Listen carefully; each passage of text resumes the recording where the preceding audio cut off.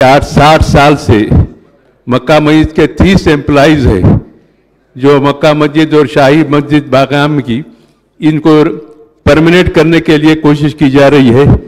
तमाम जमातों ने उसको नज़रअंदाज किया। खसूसियत के साथ कांग्रेस पार्टी के दौर में बोलते रहे, तय खून दिए, लेकिन नहीं हुआ। तेलुगु देशम के दौर में भी नज़रअंदाज किया गया। अब तेलुगु देशम के बाद टीआरएस हुकूमत से हमको उम्मीद वाबस्ता है, क्योंकि इस हाउस में चीफ मिनिस्टर साहब ने वाजे तौर पर मेरे तकरीर के वक्त बयान दिया, जवाब दिया कि मक्का मस्जिद और शाही मस्जिद के मुलाजमीन को मैं परमानेंट करूँगा, मुझ वादा कर रहा हूँ, मैं करके रहूँगा। साठ साल के अरसे में एक मसला पेंडिंग पड़ा हुआ है, और अब चीफ मिनिस्टर साहब से मेरी दरख्वास्त है कि वह मक्का मस्जिद के और शाही मस्जिद के इमाम मुलाजमीन को परमानेंट का ऐलान करे।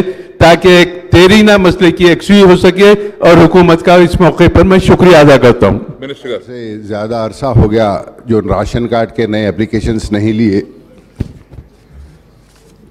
तो मैं मैं आपके ज़रिए हुकूमत से गुजारिश करूँगा। मैं आपके ज़रिए हुकूमत से गुजारिश करूँगा कि नए राशन कार्ड के दरखास्तें ले। क्योंकि गुज्तर चार साल पहले जो लिए थे, उसके अभी अपन कार्ड्स जो है सो भी पिछले साल ही उसके अप्लाई करे। कई लोगों को तकलीफ़ हो रही है और जो लोग किसी वजूहत की वजह से कहीं बाहर जाकर एक दो महीने राशन नहीं लिए, उनके भी नाम उसके अंदर से हदफ कर दिए गए हैं, डिलीट कर दिए गए हैं, ताकि नए राशन कार्ड्स के आप खोलेंगे।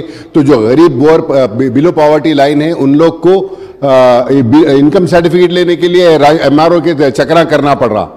तो ये तमाम सहूलतें होंगी और गरीब के लिए ज़रूरी है कि इमीडिएटली जो है ना आप नए राशन कार्ड्स के लिए एप्लीकेशन के लिए दरखास्तें खोलें। मिनिस्टर